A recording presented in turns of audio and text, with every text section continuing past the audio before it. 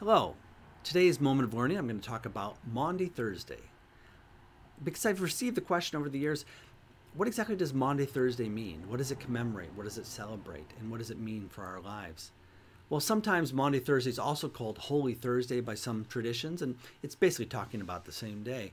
And it takes place the Thursday before Easter, and it commemorates the events before and around the Last Supper that we read about in the biblical Gospels, where Jesus and his disciples come together and share the Passover meal in the upper room. Now, chronologically, it takes place in those days just prior to the crucifix- crucifixion. It leads up to the crucifixion when Jesus was crucified for the sins of all of those who would believe in him.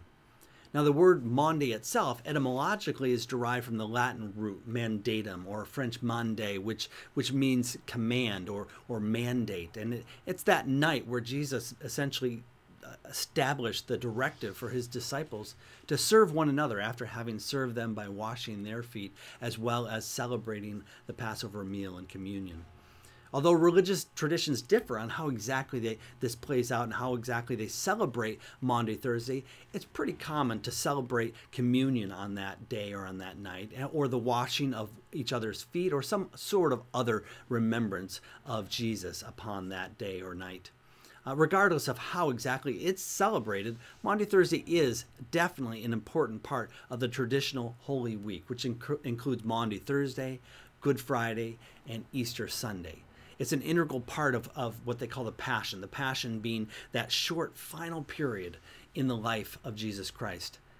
Now, for Christians across the world, it is, an, it is a significant event. It's significant because it allows us to remember not just what Jesus did on the cross and all that he accomplished there, but also the entire reason why he even went to the cross at all, and how we are to continue on as the church and throughout our Christian life.